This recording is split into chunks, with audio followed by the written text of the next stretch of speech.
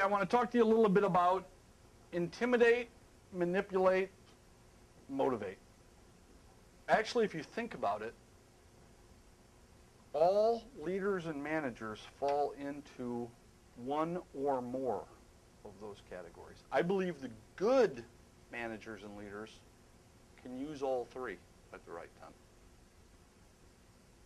You hear that and you say, wait a second, I shouldn't have to intimidate people to perform. Sure, you should. There should be occasion where they should be somewhat intimidated by you. I'm sure you've heard the term the fear of God. Well, what is that? It's not that I'm afraid of God. I'm intimidated by the power, of the authority. Now, that's not to say we as business leaders or business managers be thinking of ourselves as God, but we do have to think of ourselves as intimidators at times. There has to be the person who has the guts to call somebody out for mediocrity, has the guts to call somebody out for poor performance. They have the guts to say, I've had enough. It's time you step up or step off. But see, intimidation only lasts a short amount of time. This is where most business managers and business leaders lose it. They think they can intimidate and intimidate and intimidate and intimidate, and that people will put up with it. And they won't. Actually, what they do is their performance goes down without them telling you that it's going to go down because they don't want to deal with it. And they basically get beat down, held down, until they finally leave. Intimidation should be boom and move on. Well, then you have manipulation. Manipulation is actually when I tell you this is what I want, and if you give it to me, I'm going to give you this reward. Employee bonuses. Actually, employee bonuses are manipulation.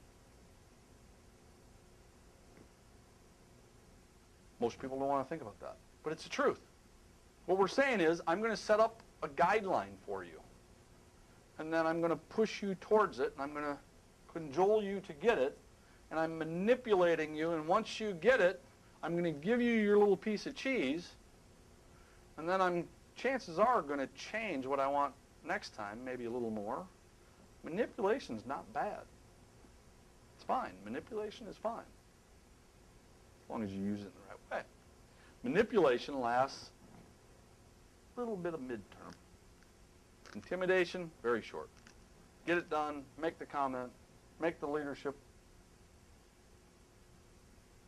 call it a day.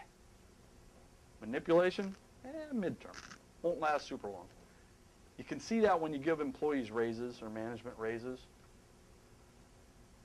They're all excited about it when you give it to them. But then the reality is, is after you've given it to them, eh, they get used to the fact that now I'm making this new money or I've already spent the bonus and boom, the motivation's gone. They're not all that excited about it anymore. You actually see it with vacations too. Vacation is somewhat of a manipulation. It's a benefit. I'm giving it to you. They're usually working pretty hard the few days before they go on the vacation, and they come back and they're not so driven. Boom, manipulation gone.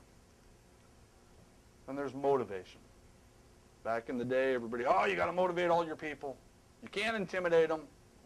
You can't manipulate them. It's all about motivation. Interestingly enough, if your only game is motivation, people will take advantage of you in time. Motivation does have long-term positive consequences, though. Motivation is, let me put you in a position so that you can help make your own decisions. Let me teach you the why so that you are driven to perform for you, not for me. Motivation is giving your staff a pile of quotes on little cue cards and letting them read them. And these aren't quotes from you. These are quotes from some of the greatest people in history. Also, it could be from some of the baddest decision makers in history. You can take quotes from people who made comments that said computers will never become some personal gadget in anybody's home. It won't ever happen. So you can see that highly intelligent, successful people aren't always right. We've had medical experts say, oh, smoking cigarettes won't have a negative impact on you. Go ahead, smoke them up. Then they find out later they're wrong. We've had people that have said, oh, the stock market will never get any better than it is. It won't ever get any higher. They said that in the 1930s.